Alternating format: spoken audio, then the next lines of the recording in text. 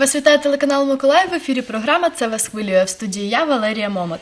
Традиційно у цій порі ми запрошуємо вас до бесіди, присвяченій юридичним питанням. І тема сьогоднішньої нашої бесіди звучить так: позбавлення батьківських прав.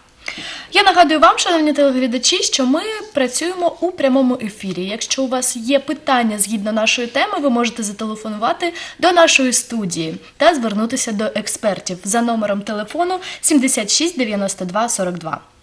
А за відповіддю на це питання про позбавлення батьківських прав ми зверну- звернулись до досвідчених експертів. Зустрічайте, будь ласка, у нас в студії е, адвокат, що працює в системі надання безоплатної правової допомоги Башук Віра Федосіївна. Та начальник відділу представництва, представництва Овчиннікова Дар'я Володимирівна. Доброго. Вітаю вас. Дар'я, по-перше, розкажіть, будь ласка, чим відрізняється безоплатна правова допомога первинна та вторинна? Ну, як вже не раз ми з вами вже зустрічалися, можу сказати, що безоплатна первинна права допомога полягає в наданні правової інформації та складанні документів непроцесуального характеру, тобто правового характеру, це скарги, заяви. Що ж стосується безоплатної вторинної правової допомоги, це вид державних гарантій, який включає в себе надання безпосередньо е, послуг з представництва, е, це складання документів процесуального характеру. Ну і власне кажучи, що стосується кримінальних проваджень, це захист. Е, За допомогою, як завжди, е, телеглядачі можуть звертатися за адресою міста Миколаїв, вулиця Космонавтів, 61. А те, що стосується новинок, так само можу нагадати вам, що 1 вересня вже відкрилися бюро правової допомоги, які функціонують по всій Миколаївській області. Е, Тому правова допомога стала більш доступною, скажімо так. Так, дякую. Ну і згідно нашої теми, ми повертаємось до позбавлення батьківських прав. Е, Розкажіть, будь ласка, пані Віра, як, е, які е, підстави позбав, позбавлення батьківських прав? Значить, батько, мати можуть бути позбавлені батьківських прав, якщо вони не забрали дитину з пологового будинку протягом шести місяців без поважної на то причини, не піклувалися про її здоров'я, ухиляються від виконання своїх обов'язків по вихованню дитини, жорстоко поводяться з дитиною, є хронічними алкоголіками або наркоманами, а також Якщо батьки притягуються до кримінальної відповідальності, їх також можуть позбавити батьківських прав. Позбавляють батьківських прав тільки за рішенням суду.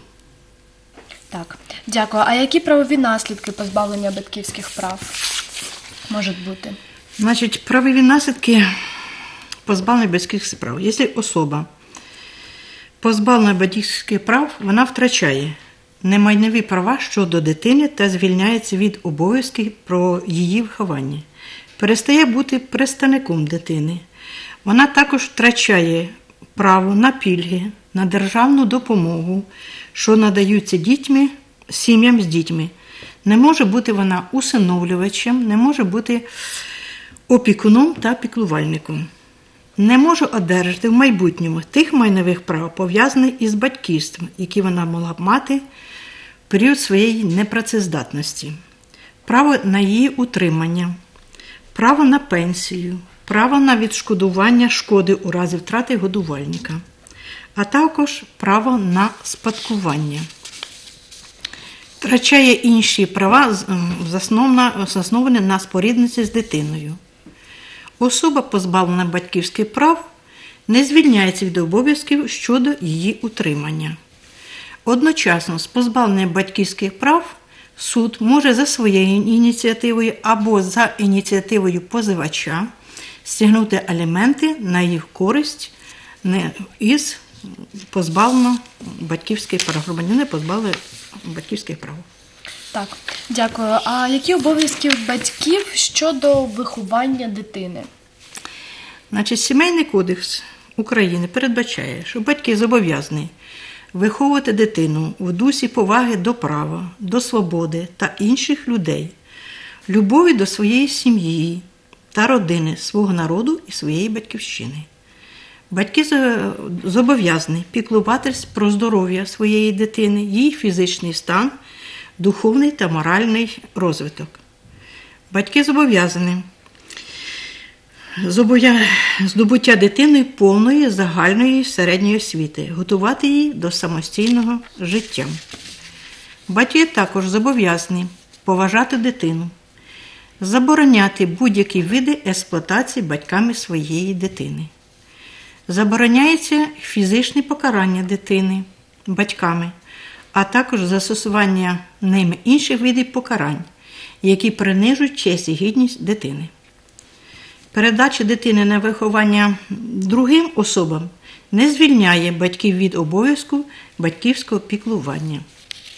Так, дякую. Е, я нагадую вам, шановні телеглядачі, що ми спілкуємось у прямому ефірі. Якщо у вас є питання згідно нашої сьогоднішньої теми, ви можете потрапити до нашої студії, зателефонував за номером 76 92 42. Е, Скажіть, будь ласка, ще які правові норми передбачені законом, що підлягають до застосування при вирішенні таких справ? Значить, праві норми застосують при вирішенні таких справ, тобто про позбавлення батьківських прав. Це статті Сімейного кодексу України 164 до 170, Закон України є про охорону дитинства, Закон України про органи служби і в справах неповнолітніх та спеціальних основ для неповнолітніх. Закон України про попередження насильства в сім'ї. Закон про Україну про соціальну роботу з дітьми та молоддю. А також є постанова Пленуму Верховного суду України про практику засудування судами законодавства при розгляді справ про усиновлення і про позбавлення батьківських прав, а також поновлення батьківських прав. Так. А яким судам е, підсудні такі справи? Значить, підсудні позови фізичної особи пред'являються за місцем проживання відповідача. Ну, наприклад, батько проживає в Інгульському районі, мама проживає у Корабельному районі. Значить, справа обов'язково буде слухатися в Ленінському районному суді, тому що батько знаходиться в цьому районі, де знаходиться суд. Тільки по так можна звертатися до суду. Угу. Дякую, пані Дар'я. Скажіть, будь ласка, чи може дитина сама ну, сама власне звернутися, наприклад, до е, центру чи до бюро е, правової допомоги, щоб е, ну, звернутися за допомогою? Справа в тому, що до центру можуть звернутися повнолітні громадяни України. Е, Так само, якщо справа стосується безпосередньо позбавлення батьківських прав, зрозуміло вже, так, що позивачем у цій, цій справі може бути як і повнолітня дитина, скажімо так, так само це, це може бути один з батьків. А, от. Е, То, що стосується категорій, які є суб'єктами права на отримання безоплатної правової допомоги, це вже, як ми неодноразово казали, е, це малозабезпечені категорії осіб, це інваліди, це учасники бойових дій, в тому числі учасники АТО, але лише з питань соціального забезпечення. От. Так само е, це Е, Діти позбавлені батьківського піклування, що стосується безпосередньо да, такого, таких категорій справ. Ну, тобто таким чином. Так, дякую. Який розмір ставки судового збору? Значить, розмір ставки судового збору є такий. Якщо е, людина звернулася у даному ситуації позбавлення батьківських прав, вона повинна заплатити 0,4 мінімальної заробітної плати. Тобто з 1 травня 2015 року мінімальна заробітна плата 1450 гривень. Ми рахуємо так: 1450 гривень множуємо на 0,4, ділимо на 100, і державне мито складає 580 гривень. Це обов'язкова сплата цього державного мита. Але в судовому порядку ця ем, сплата, позивач, яку сплатив в сумі ну, 580 гривень, як ми вже пояснили, вона може бути стягнута із відповідача на користь позивача. Так, дякую. А чи є приблизний перелік необхідних доказів та предмет доказування? Так, слід окреслити коло питань, що підлягає доказанню для задоволення вимог позбавлення батьківських прав батька або матір щодо неповнолітньої дитини. Таким чином, слід враховувати те, що обов'язково в справах підлягають наступні докази: батько або мати не спілкується, не спілкується з дитиною, не проявляє такої ініціативи у такому спілкуванні. Батько або мати не бере участь у навчанні дитини, не відвідує школу, не, допомагає у підготовці дитини до школи. Також не відвідує шкільні заходи. Мати чи батько не відвідує шкільні заходи, де участвує їхня дитина, приймає участь їхня дитина.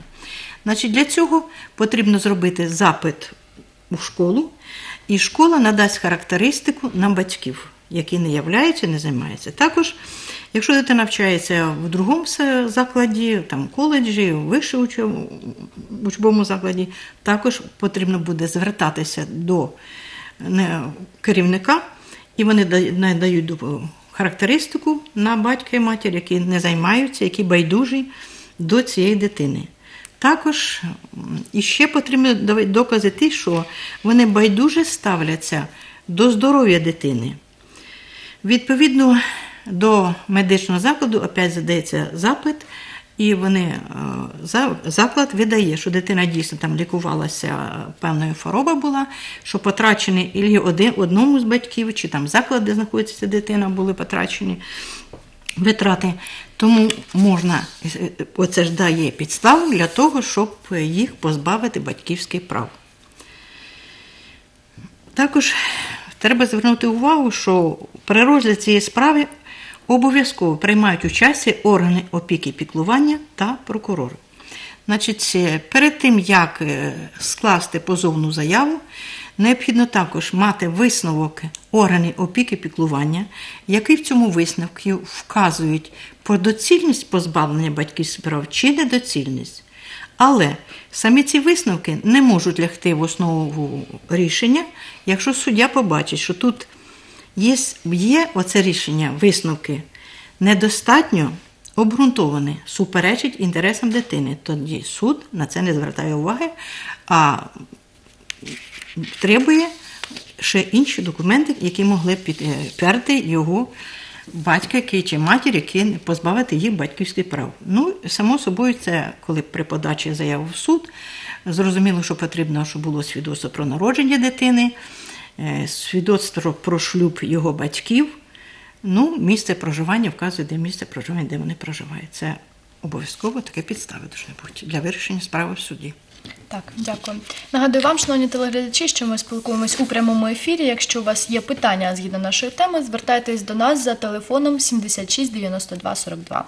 Ми продовжуємо. Скажіть, будь ласка, як поновити батьківські права? Значить, ем, Сімейний кодекс України, а також Цивільно-процесуальний кодекс України. Є, можуть батьки, позбавлені батьківських прав, мають право звернутися до суду теж з позовною заявою, щоб його встановили в батьківських правах.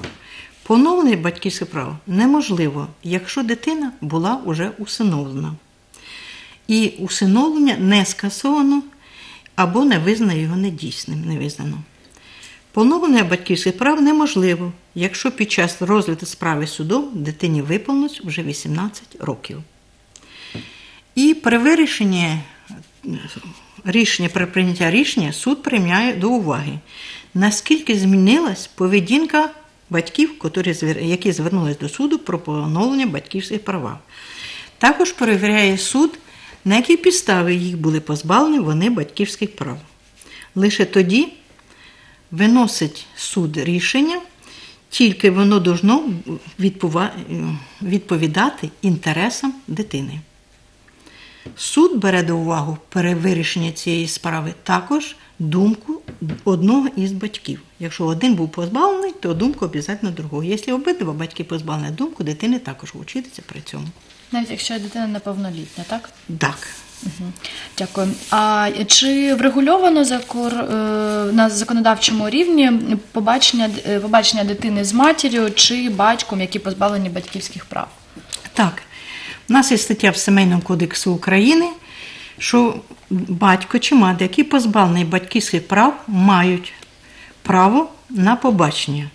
Вони також звертаються в суд з заявою про надання їм такого побачення з дитиною. Але це побачення відбувається, суд надає таке побачення, періодичне побачення.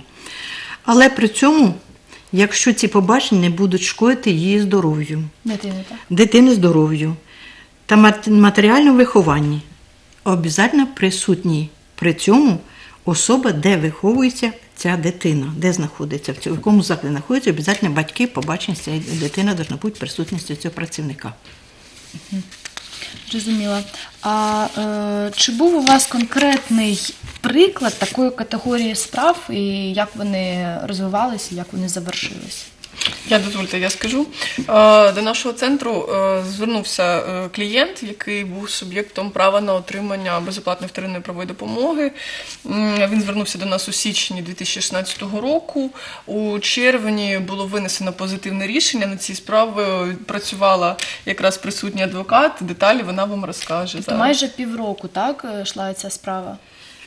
Значить так, у січні, в лютому місяці буде, була надана доручення мені від центру про надання допомоги неповнолітньої дитині, яка звернулася в центр, щоб скласти позовну заяву про позбавлення батьківських прав його матері.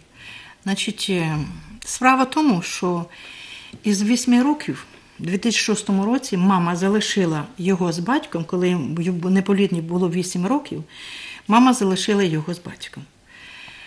В січні місяці батько помер. За цей період мама ні одного разу не зверталася до сина, що може потрібна яка-небудь допомога. Ні матеріальної, ні моральної підтримки він не отримав від своєї мами. Незалежно від того, що вони проживають в одному місті в Миколаєві. І я думаю, що не така далека відстань, де вона проживала мама. Після смерті батька, коли він залишився неповлітній один, він звернувся за такою допомогою. Значить, я склала йому позовну заяву. Перед цим е, безліч треба зібрати ті документи, які я раніше вам розказувала про документи, органи опіки піклування. Ми зверталися, щоб давали висновки. І з 1 березня ми вже здали цю заяву. В лютому нам поступило це. За цей період ми поки зібрали ці документи. З першого знаходилася вона вже 1 березня в корабельному районному суді дана справа. На даний момент вона вже розглянута. Ми отримали позитивне рішення. Матір позбавили батьківських прав. Дитина навчається в коледжі, і це, звісно, для нього буде ха- краще. Е, Скажіть, будь ласка, а дитина сама звернулася до центру, чи ну як відбувалася взагалі ця справа? Більш ну детально хочеться розглянути її. Ну, справа в тому, що звернення до центру можливе. Просто якби механізм звернення, да, людина, клієнт приходить до центру, звертається зі своєю проблемою, надає пакет документів, е, який підтверджує його е, право на отримання безоплатної вторинної правової допомоги. Е, тоді протягом 10 е, днів центр працівників відділу, який працює з клієнтами, видають наказ про надання або про відмову в наданні безоплатної правової допомоги, в залежності від того, чи людина дійсно підпадає під дію нашого закону про безоплатну правову допомогу. От. Е, Потім, е, після того наказу, Видається доручення центром, і справа потрапляє вже до адвоката безпосередньо. Тобто механізм звернення такий. Е, В цьому випадку так само, власне кажучи, людина звернулася до, до центру, і е, так само був призначений адвокат, який довів цю справу до кінця. І бачимо, вона успішно закінчилася. І е, це недалеко не перший, не єдиний приклад успішної справи. Я хочу закликати всіх телеглядачів до того, щоб ви скористалися своїм правом на отримання безоплатної правової допомоги, е, тому що кожен з нас періодично потрапляє в ті обставини, коли вона нам необхідна. І знати про свої права і знати, як їх використати, це є дуже важливо у сучасному світі. Так, а скажіть, будь ласка, е, з яким пакетом документів треба звертатися? Наприклад, е, щоб позбав- позбавлення батьківських прав, так? З яким пакетом документів потрібно Ну, по-перше, якщо звертатися до центру з метою е, отримання просто безоплатної вторинної правової допомоги, необхідно звернутися з документами, які, посвідчують особу людини, і документами, які підтверджують стат, підтверджують її статус стосовно права на отримання такої допомоги. Якщо справа в даному випадку, да, тобто е, дитина є суб'єктом взагалі права на отримання такої допомоги. Якщо, наприклад, ми будемо казати про учасника бойових дій, права якого порушені. Да? В цьому випадку він буде надавати паспорт, е, ідентифікаційний код е, та посвідчення учасника бойових дій. Тобто це той документ, який підтверджує його статус на, На даний момент. На даний момент те, що він має право е, отримати безоплатну правову допомогу. Що ж стосується звернення за первинною е, безоплатною правовою допомогою, це ще простіше. Людина звертається просто з документами, які посвідчують її особу, і е, задає безпосередньо те питання, яке її цікавить. Е, Законом передбачено термін, п'ятиденний термін, скажімо так, з моменту звернення, що людина може отримати консультацію правового характеру. Однак ем, я вам скажу чи- суто з практичної точки зору, тобто до нас люди звертаються часто і тут же отримують ну, відповіді на свої питання. Якщо ж це стосується складання документів правового характеру, то звісно спеціалістам центру необхідно попрацювати для того, щоб, е, по-перше, надати кваліфіковану консультацію, взагалі кваліфікацію тим діям, на які скаржиться людина, скажімо так. Ну, якщо я ж я кажу, що це стосується е, складання документів правового характеру, звертаю увагу, що не процесуального, то це на це, звісно, потрібен час, і взагалі то кожен має право на отримання безоплатної первинної правової допомоги. Так, дякую. Скажіть, будь ласка, такий термін був ця справа, повертаючись до цієї справи, такий термін був там 4-5 місяців, та, виходячи. Це е, великий термін для вирішення такої справи, чи е, це достатньо швидко йшла така справа? Ну, якщо не секрет, можна так Ну, я вважаю, що це достатньо швидко ця справа, тому що це зв'язано не тільки. Але ж надо документи, висновки, експертизи, дуже висновки органу опіки піклування. Там ще висновки з стану здоров'я провіряється. Ну, в даному випадку неповнолітнього провіряє стан його здоров'я. Тому певний період для збору документів ми втрачаємо час. Я вважаю, що в суду, дивлячись на таку загруженість в суду, за певні 4 місяці, де розглянув суд цю справу, це я вважаю, що це швидко була визнана. Ця справа розглянута. Так. А чи І боролася, рішення. чи боролася мати за права батьківські? Чи ні? Мама в суду не боролася і спочатку вона не хотіла, що їй позбавляли батьківських прав, але коли ми надали документи, що вона заборгованість неї по аліментам 83 тисячі 897 гривень. Така сума. Ми навіть не просили суд, щоб стягували з неї аліменти. Дитина не хотіла, дитина тільки бажала позбавити батьківських прав. І Вчитися, все-таки правильно. да, і вчитися далі. Мама потім на, під самий кінець вже написала заяву, що вже суд розглядав без неї справу, вона згодна для того, щоб її позбавили батьківських прав, але це після вже третьої, е, три, по-моєму, засідання в нас було. І після третього засідання вже написала вона таку заяву, тому що ну, убідила практично, я цим займалася, що нічого ж мама вам не дасться добиватися, тому що оставити дитину у 8 років і не прийти ні разу до неї не поцікавитися. Скільки років вже пройшло? 10 років, 10 пройшло, років. біля 10 років. І мама ніколи не поцікавилася, який його стан здоров'я, як він проживає, навіть після Чи смерті. потрібна якась допомога? Навіть після смерті батька, який помер, дитина неповнолітня, батько помирає, ніякої допомоги в нього немає, тому що батько більше не одружувався. Він проживав місцем з сином, все віддавав вихованню сину.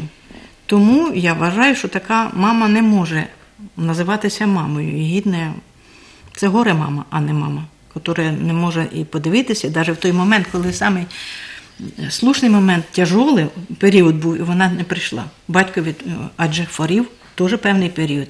І також син, навчаючись, уділяв багато уваги батькові. А мама їй було байдуже про цю дитину. Тому я вважаю, що суд правильно вирішив питання про позбавлення її батьківських прав. Так, дякую вам. Дякую, що ви завітали сьогодні до нашої студії. Я нагадую вам, шановні телеглядачі, що це була програма Це вас хвилює. В студії була я, Валерія Момот. До наступної зустрічі.